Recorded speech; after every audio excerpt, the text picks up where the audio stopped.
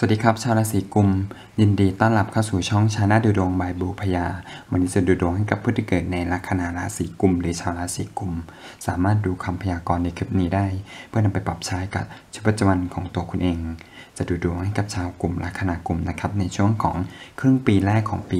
2065 นี้สโคปในช่วงของเดือนมกราคมถึงเดือนมิถุนายนทั้งหมด 6 เดือนนะครับ เดี๋ยวเรามาดูกันว่าจะมีแนวโน้มทิศทางเป็นเช่นไร ก่อนอื่นฝากกดไลค์ กดแชร์ กด subscribe กดติดตามกำลังใจกับช่องบูพยาด้วยนะครับใครที่งการติดต่อดูดวงเป็นการส่วนตัว สามารถแอดไลน์ ID มาได้ที่ user บูพยา เขียนไว้กับหน้าจอแล้วก็คอมเมนต์ข้างล่างให้แล้วนะครับ ทีนี้เรามาดูอิทธิพลในเรื่องของการย้ายดวงดาวกันก่อนนะครับสำหรับชาวราศีกุมแล้วก็ลัคนากุมนะครับว่ามีผลอย่างไรกันบ้าง อิทธิพลของดวงดาวนะครับมีทั้งหมด 2 ดวงที่มีการโคจรยกย้ายราศีมีดาวราหูแล้วก็ดาวพฤหัสบดี โดยที่ดาวราหูนะครับโคจรสถิตในราศีพฤษภในช่วงจังหวะประมาณเดือนมกราถึง 30 มีนา65 นี้ แล้วประมาณวันที่ 30 มีนานี้ ดาวราหูจะเลื่อนไปที่ราศีพบเรือนสหัชชะนะครับ เป็นตำแหน่งเทวีโชค ร่วมกลุ่มกับดาวมฤตยู ส่วนดวงที่ 2 คือดาวพฤหัสบดีนั้นโคจรจากราศีกุมนะครับ อยู่ในช่วงประมาณมกราถึง 8 เมษายน 65 นี้ จะเลื่อนขึ้นไปที่ราศีมีนเป็นเกษตรบดี อยู่ในช่วงประมาณวันที่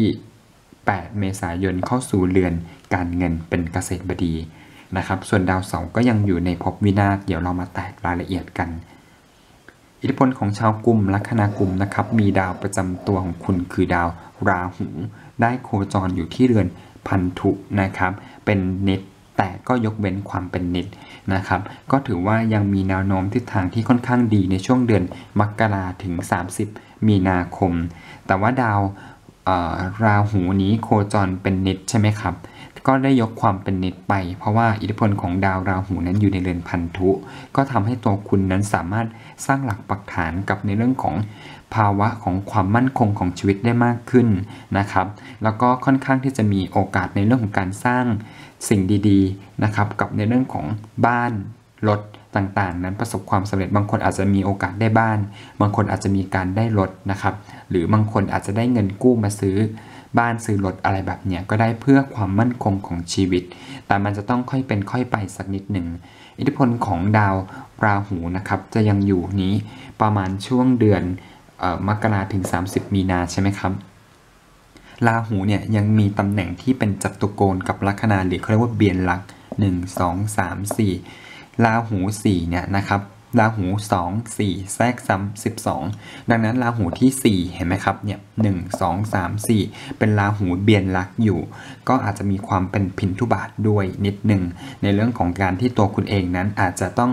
ไปได้ดีในถิ่นอื่นนะครับ ไม่ได้ดีในที่ของตัวเองสักเท่าไหร่ยกเว้นทำออนไลน์หรือ work from home นะครับ ถึงจะรอดเนาะหรือบางคนอาจจะทำ delivery ก็อาจจะยังโอเคอยู่นะแต่ถ้าเกิดคุณนะครับอาจจะมีปัญหากับคนในครอบครัวมีปัญหากับญาติพี่น้องได้บ้าง อะไรประมาณเนี้ยก็เราอาจต้องใช้เวลากับการฟื้นฟูตรงนี้ ในช่วงของวันที่ 30 มีนาคมนี้ดาว ราหูจะย้ายขึ้นไปที่ราศีเมษเป็นภพเรือนสหัชชะเป็นตำแหน่งเขาเรียกว่า โยกหน้ากับลัคนาตำแหน่งที่ 3 คือโยกหน้า ตำแหน่งนี้ราหูเนี่ยมากุมกับดาวมฤตยูอยู่ในเรือนสาชะนะครับ มีข้อดีตรงที่ดาวราหูนั้นได้ฤทธิโยกแล้วก็ไม่เบียดลักแล้วทำให้ชาวกลุ่มลัคนากลุ่มนั้น มีโอกาสติดต่อมีโอกาสสื่อสารนะครับ กับในเรื่องของวงสังคมนะครับมากขึ้น หรือมีโอกาสในลักษณะของการได้รับสิ่งดีๆ กับวงสังคม เพราะว่าเป็นตำแหน่งเทวีโชคนะครับ ร่วมกลุ่มกับดาวมฤตยู อาจจะต้องระมัดระวังนิดนึงกับการเลือกคบคน อิทธิพลของชาวกลุ่มลัคนากลุ่มเนี่ยบางทีคุณอาจจะมีโอกาสของการเข้าไปเกี่ยวข้องนะครับ หรือไปคบคนกับวงสังคมมากขึ้น ขยายสังคม ขยายในเรื่องของการ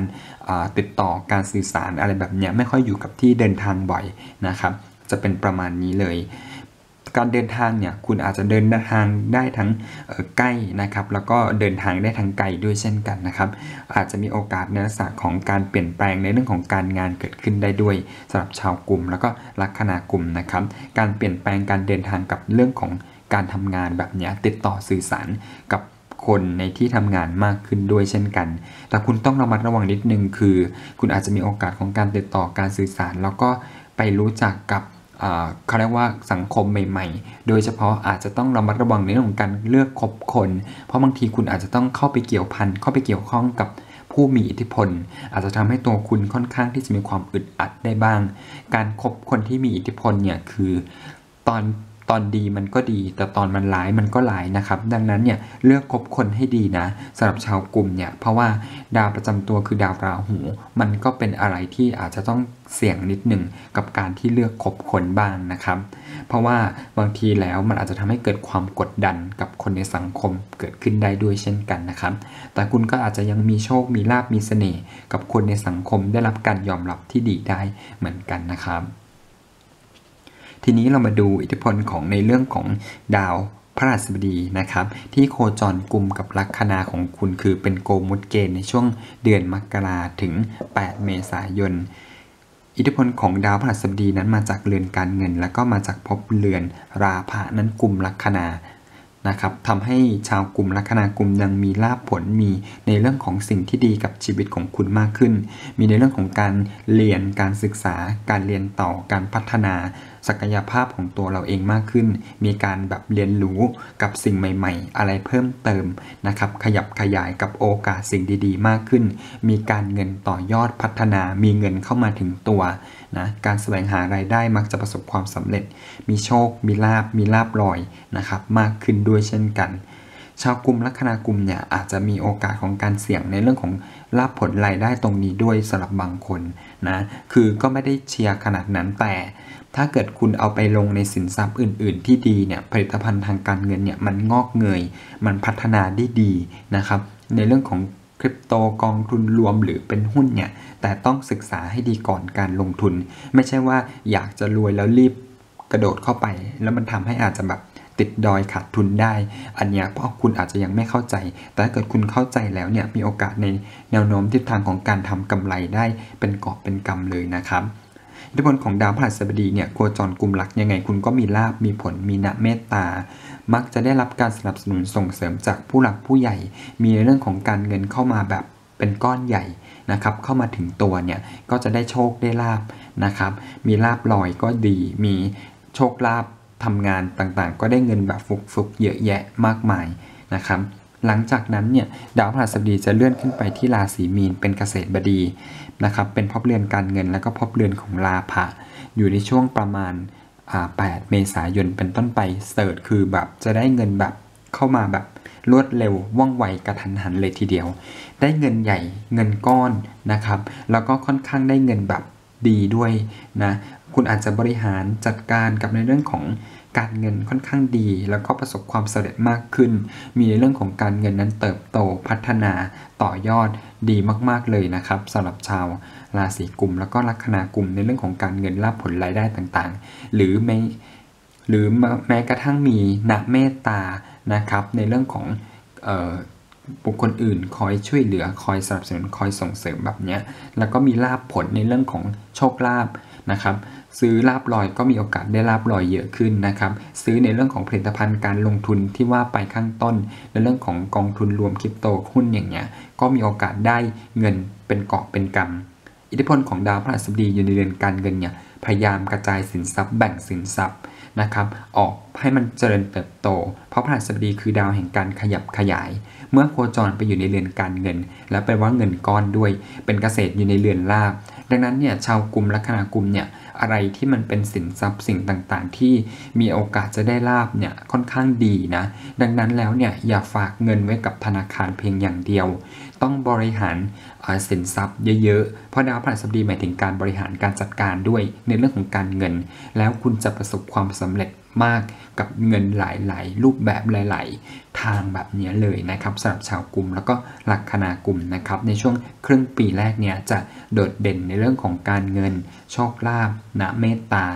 มีคนคอยช่วยเหลือ มีคนคอยผลักดัน มีคนคอยให้โอกาสสิ่งดีๆ กับตัวคุณค่อนข้าง เยอะแยะมากมายสำหรับชาวกลุ่มแล้วก็ลัคนากลุ่มนะครับ ทีนี้เรามาดูอิทธิพลของดาวดวงสุดท้ายคือดาวเสาร์ดาวเสาร์เนี่ยโคจรอยู่ในภพวินาศนะครับ เป็นเกษตรบดี โคจรอยู่ทั้งเดือนนะครับไม่ใช่ทั้งครึ่งปีเลยแหละ ในช่วงของครึ่งปีนี้ดาวเสาร์เนี่ยเป็นเกษตร อยู่ในภพวินาศแปลว่าคุณมีโอกาสจะได้ดีในต่างถิ่นแดนไกล หรือบางคนอาจจะได้ดีในสิ่งที่มันเป็นแบบสิ่งลับๆ ไม่เปิดเผย หรือคุณอาจจะได้ดีกับในเรื่องของการค้า การลงทุน การส่งออก การนำเข้ากับในเรื่องของต่างประเทศ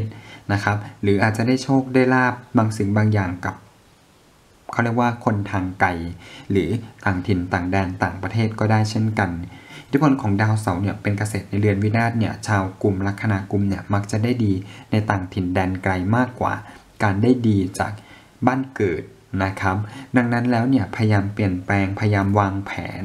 นะครับกับบางสิ่งบางอย่างเพื่อเหมือนแบบกระจายทุกสิ่งทุกอย่างออกไป อย่าอยู่เพียงจุดจุดเดียว อย่าทำอะไรซ้ำซากพยายามเปลี่ยนแปลงพยายามแบบ ค่อยๆเป็น ค่อยๆ ไปแหละ วางแผนทุกสิ่งทุกอย่างให้ดี แล้วก็พยายามไปอยู่ในต่างจังหวัดต่างถิ่นต่างประเทศ แบบนี้จะเจริญเติบโตและรุ่งเรืองกว่าแบบนี้เป็นต้นนะครับอิทธิพลของดาวเสาร์อยู่ในภพวินาศเนี่ยคุณจะเปลี่ยนแปลงบ่อยขึ้น แล้วก็เดินทางบ่อยขึ้น ไม่ค่อยอยู่กับที่เดินทางทั้งใกล้ เดินทางทั้งไกล ไกลในที่นี้คือต่างจังหวัดต่างประเทศได้เลยนะ ประมาณนี้นะครับ ทุกอย่างเนี่ย บางทีอาจจะต้องเป็นความลับนิดนึงนะ มันจะทำให้ตัวคุณเนี่ยค่อนข้างมีลาบมีผลที่ดี แต่ถ้าคุณเปิดเผยหรือคุณโอเพนเกินไป มันอาจจะทำให้ตัวคุณอะค่อนข้างมีความกดดัน มีความเครียดแบบนี้เป็นต้น เพราะว่าอิทธิพลของดาวเสาร์เนี่ยโคจรเบียนกันกับดาวมฤตยู แล้วก็ดาวราหูนะครับ คือดาวประจำตัวมันอาจจะทำให้ตัวคุณเนี่ยไม่สามารถเปิดเผยกับวงสังคมได้มากจนเกินไปนะครับ เปิดได้แหละแต่แบบ นิดๆหน่อยๆ อย่าเปิดเผยทั้งหมด แล้วก็อย่าเปิดเผยมากจนเกินไป เพราะคุณอาจจะได้รับอิทธิพลของแรงกดดัน เพราะว่าดาวเสาร์เนี่ยจะโคจรเบียนกับดาวมฤตยูและดาวราหูที่ไปอยู่ในเรือน การติดต่อการสื่อสารหรือญาติพี่น้อง มีความอึดอัดใจตรงนี้บ้างเล็กๆ น้อยๆนะครับไม่เยอะมาก เพราะเป็นดาวอย่างน้อยก็เป็นดาวคู่มิตรกันอยู่ แล้วก็ดาวเสาร์เนี่ย ส่งเกณฑ์ถึงดาวพฤหัสบดีในเรือนการเงินเนี่ยบางทีคุณอาจจะได้เงินแบบลับๆ แต่ก็ค่อนข้างมีความอึดอัดใจ มีความรู้สึกเหมือนแบบ ไม่ค่อยเป็นตัวของตัวเองสักเท่าไหร่ บางทีคุณอาจจะต้องบริหารต้องจัดการต้อง manage ทุกสิ่งทุกอย่างให้เกิดความแบบโปร่งใสนิดนึงนะครับเรามัดระวังในเรื่องของการตรวจการถูกตรวจสอบในเรื่องของการเงิน หรืออาจจะถูกตรวจสอบในเรื่องของรายได้ทรัพย์สินตรงนี้ได้ด้วยเช่นกัน เพราะพระราชบดีนั้นเป็นเกษตรบดี อยู่ในเรือนการเงิน โดยเฉพาะถ้าเกิดใครที่มีดาวตั้งรับที่อยู่ในราศีมีนนั้นเป็นดาว